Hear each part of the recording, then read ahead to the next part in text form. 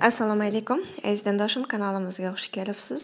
Bugun ayollarda yana bir muammo ko'kraklari judayam osilib qolishi haqida va bu holatda biz nima qilishimiz kerak. Umuman bu holatga nima sababdan kelib qoladi. Mana shular haqida to'liq ma'lumot berib o'taman. Ayollarda ko'krakni osilib qolishi eng birinchi o'rinda albatta tug'ruqdan keyin sodir bo'ladi. Ya'ni ayol bolasini emizish vaqtida judayam noto'g'ri emizadi va ko'kragini judayam tortib yuboradi. Aynan mana shu natijasida ham ko'krak osilib qoladi. Keyingi o'rinda albatta bolani emizishdan chiqarish vaqtida ular ko'kragini judayam qattiq boylab qo'yishadi. Mana shuni natijasida ham ayollarda ko'kragi osilib qoladi. Eng katta sababi mana shu bola emizish va albatta bolani sutdan chiqarish. Keyingi o'rinda albatta to'g'ri byuxgalter taqmaganligi. Ya'ni umuman ular ko'kragiga mos bo'lmaydi. Ko'kragiga nisbatan katta yoki kichik yoki bo'lmasam judayam osilgan bo'ladi. Mana shuni natijasida ham ayollarda ko'krak osilib qoladi. Keyingi o'rinda ayollar birdaniga ozib ketishi ham ko'krak osilib qolishiga sababchi bo'ladi. Keyingi o'rinda vitaminlar yetishmasligi ham aynan ko'krakni kichkina irib ketishiga va osilib qolishiga sababchi bo'ladi.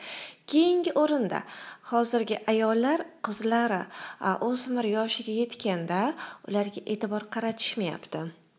Mana shuni natijasida qizlarda birinchi ko'krak chiqib boshlaganda ular uyalishadi va ko'kragini judayam qattiq qisqib qo'yadi yoki bo'lmasam hech narsa taqmaydi.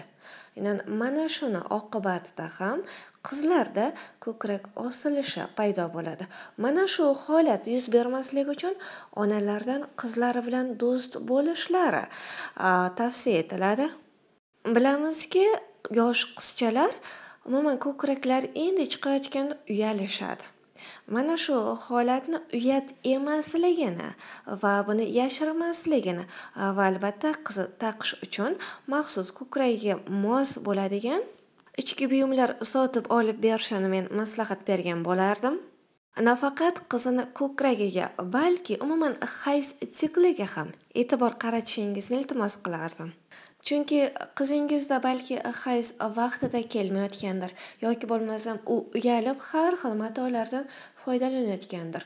Bu albatta qizingizda gormonal buzilishlarni yoki bo'lmasam infeksiyalarni paydo qiladi. Kelajakda ona bo'lishga qiynaladi. O'sha uchun yosh onalardan kelajakda qizlari bilan do'st bo'lishlarini iltimos qilardim. Keyingi o'rinda ko'kraklaringiz hech qachon osilib qolmasligi uchun va albatta u chiroyli bo'lishi uchun siz kerakli vitaminlarni iste'mol qilishingiz kerak. Ayniqsa ko'krakni mana shu osilib qolishini oldini oladi vitamin A va albatta vitamin E. Shu bilan birgalikda vitamin B guruhiga mansub barcha vitaminlarni iste'mol qilishingiz va mana shu vitaminlarga boy mahsulotlarni iste'mol qilishingiz tavsiya qilinadi. Aynan mana shu vitaminlar yetishmaganda ayolni ayolligi ham yo'qolib boradi.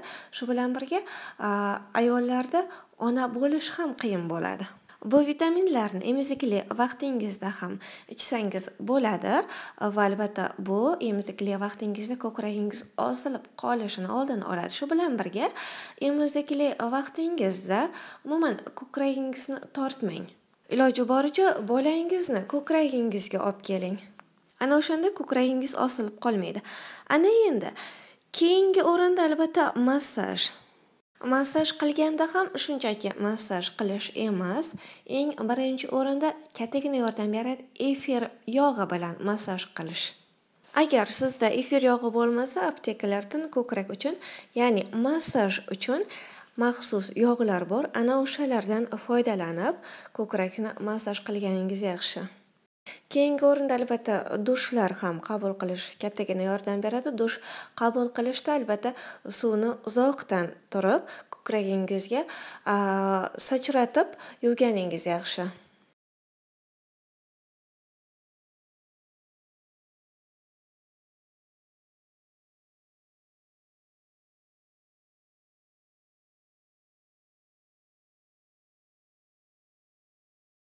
Keyingi o'rinda ko'kraklar uchun maxsus mashqlar bor. Mana shu mashqlardan har kuni foydalanishingiz tavsiya qilinadi. Bu mashqlarni albatta ertalab va kechqurun bajarasiz. Avvaliga yengil mashqlardan foydalanasiz. Xuddi rasmda ko'rsatilgandek tartibi bilan bajarasiz. Bajarishda qo'llarni oldinga, ko'krakka va tepaga bular har har bittasi 15 martadan bajariladi.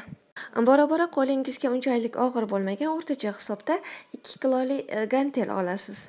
Agar gantel bo'lmagan taqdirda ham qo'lingizga mana shunday og'ir nimadir olib, mana shular bilan mashq bajarasiz. Keyingi e, xuddi mana shu rasmdagidek tartibi bilan bajara boshlaysiz. Har bittasi yodingizda bo'lsin 15 martadan bajariladi. Bular asosan ko'krak uchun mashq hisoblanadi. Bularni nafaqat ko'kragi anchagina osilib qolgan ayollar, balki mana shu osilib qolishni oldini olmoqchi bo'lgan ayollar ham foydalanishlari mumkin. Shu o'rinda yana bir gapni aytib o'tishim kerakki, hozirgi kunda ko'krakka tartish uchun har xil krem, mazlar chiqib ketgan, gellar. Bular faqatgina foydalanish vaqtida sizga yordam beradi. Foydalanishni to'xtatganingizdan keyin esa ko'kragingiz yana avvalgi holatiga qaytib ketaveradi. Shu uchun ham siz faqatgina mashqlar bilan, massajlar bilan ko'kragingizni o'z holatiga keltirishingiz mumkin. Bilasizmi, mana shu ko'krakni kattartirish uchun har xil gel, kremlardan hadeb foydalanaverish ham ko'krak bezi saratoniga olib keladi. O'sha uchun ham men sizlarga ko'krakni kattartirish uchun kremlardan foydalanishingizni tavsiya qilolmayman. Olmayman. Bugungi ma'lumotim ham albatta sizlarga foydali bo'ladi degan umiddaman. Yangi kanalimga ham obuna bo'ling va albatta salomat bo'ling.